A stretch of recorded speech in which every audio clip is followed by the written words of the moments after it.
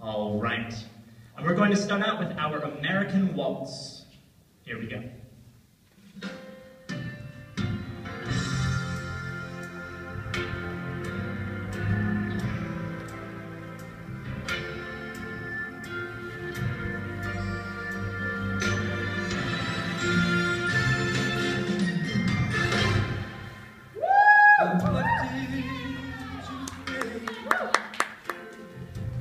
I would do at this moment when you're standing before me Ready for our dance? with tears in your eyes, trying to tell me that you have found you another, and you just All right, don't. your favorite couple out there? Cheer them on.